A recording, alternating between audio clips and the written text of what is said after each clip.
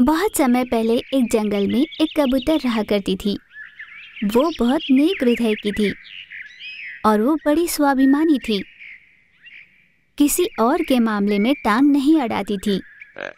अपने काम से ही मतलब रखा करती और वो जंगल के शेर राजा के पास काम किया करती थी। उसके साथ एक लोमड़ी और बिल्ली भी राजा के पास काम किया करते। कबूतर दिया हुआ काम समय में पूरा किया करती थी। पर लोमड़ी और बिल्ली तरह तरह के बहाने बनाकर काम से मुकर जाया करते थे। तुम दोनों के भरोसे कोई काम छोड़ना मुश्किल है। बेतुके बहाने बनाते रहते हो। इस कबूतर को देखकर तो कुछ सीख लो। इस तरह शेर राजा हर बात पर कबूतर से तुलना कर उन्हें डांटा करता। लोमड़ी और बिल्ली को इस बात का बड़ा गुस्सा आया करता था। एक दिन लोमड़ी और बिल्ली पेड़ के नीचे खड़े होकर कुछ बात कर रहे थे। इस कबूतर की वजह से हमें हर रोज डांट पड़ती है।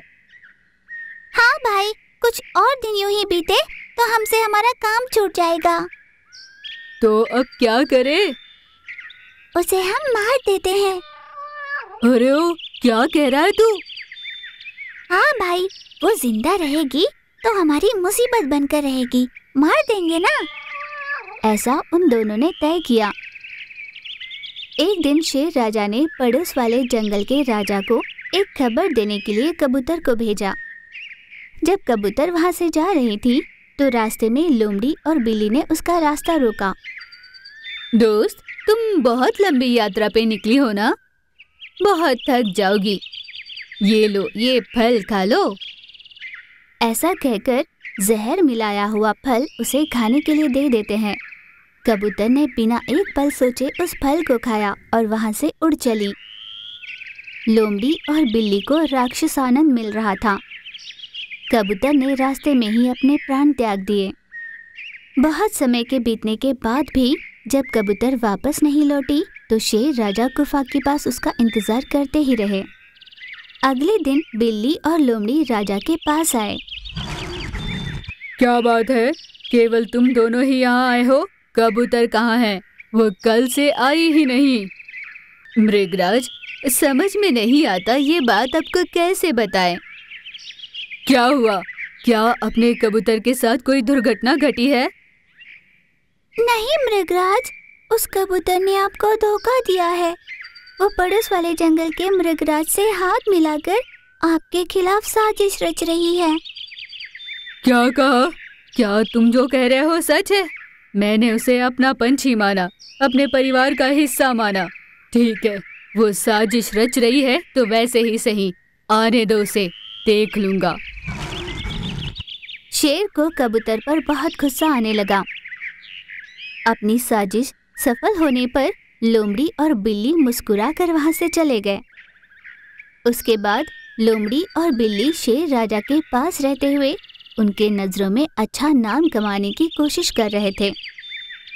यूँ ही कुछ दिनों बाद अचानक लोमड़ी और बिल्ली को जैसे कबूतर उड़ रही हो और वो चिल्ला रही हो, ऐसी आवाज़ें आने लगी। जब वे सो रहे होते या खा रहे होते या नदी के किनारे पानी पी रहे होते तब भी उसकी चीखें सुनाई देती। उन दोनों के मन में दहशत फैल गई थी। जब शेर उनसे कुछ कहता, तब भी कबूतर की गूंज सुनाई देती। शेर राजा की कहीं बातों पर भी वो ध्यान नहीं दे पा रहे थे। दोनों बड़े चिड़चिड़े हो गए थे। उस चिड़चिड़ाहट में गुस्से से, ये क्या रोना रो रही हो? इतनी साजिशों के बाद तुम्हें मारने के बाद भी हमारा पीछा नहीं छोड़ोगी? ऐसे शेर राजा के सामने उसने ज़ोर से कह दिया। शेर राजा ने उसकी बातें सुन ली। अब वे छुपा नहीं पाए। शेर राजा को उन्होंने सारी सच्चाई बता दी। छे, जानवरों के जाति में ही जन्म लिया है तुमने। अपने स्वार्थ के लिए इतना नीचे गिर गए। जानते हो उस कबूतर की आत्मा क्यों रो रही है? जो उसने किया भी नहीं, ऐसा लांछन उस पे लगाने की वजह से उसकी आत्मा भटक रही है। इसे स्वाभिमान कहते हैं। अब आजीवन कारावास में रहो। भूख और प्यास से तड़प कर मर जाओ। ऐसी उन्हें सजा दे दी। शेर ने आसमान की ओर देखकर, मुझे माफ़ कर देना मेरे दोस्त, कहकर उसे माफ़ी मांगने लगे। कबूतर की आत्मा आसमान की ओर जाती हुई दिखाई दी। कई बरसों पहले एक सुंदर सा जंगल हुआ करता था।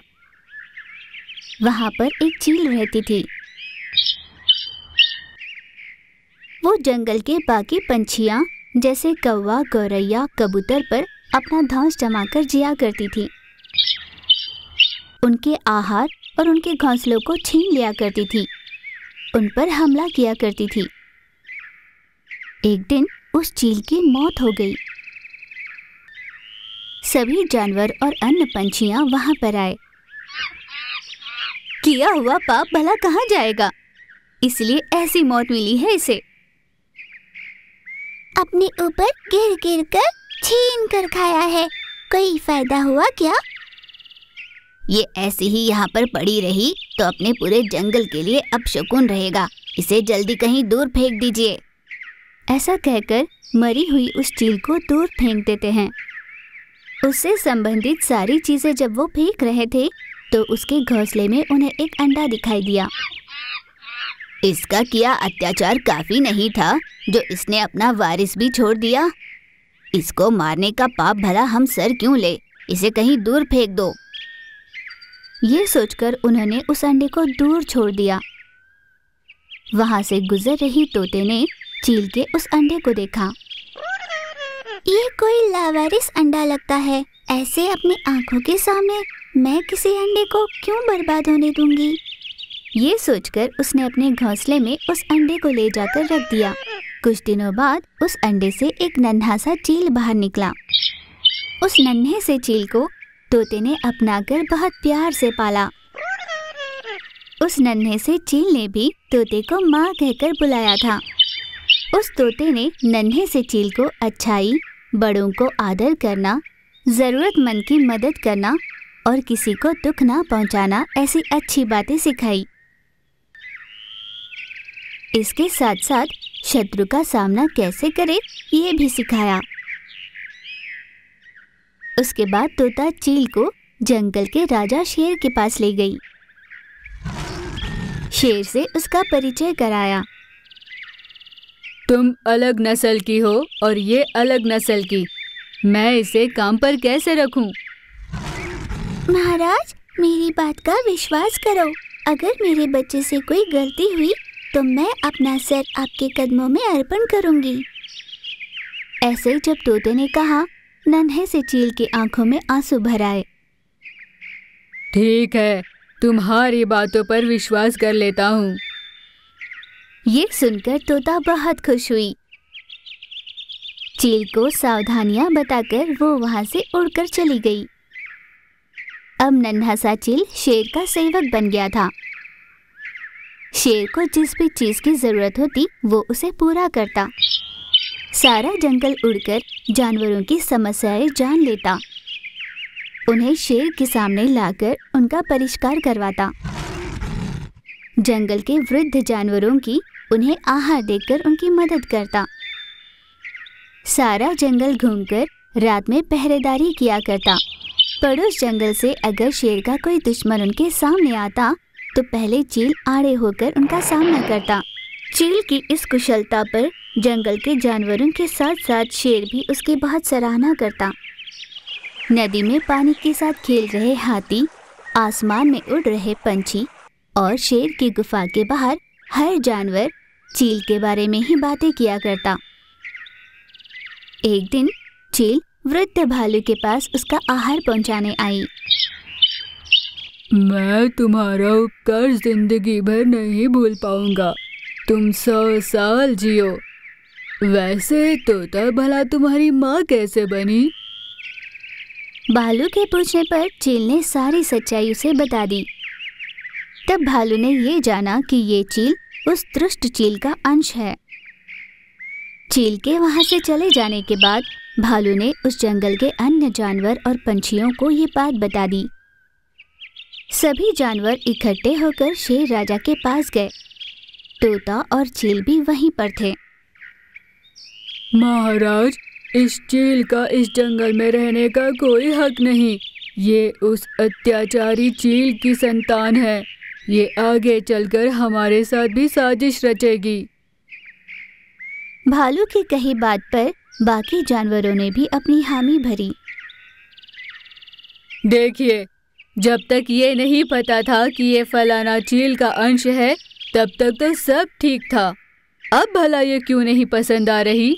अगर ये चील नहीं होती तो वृद्ध जानवरों को आहार नहीं मिलता।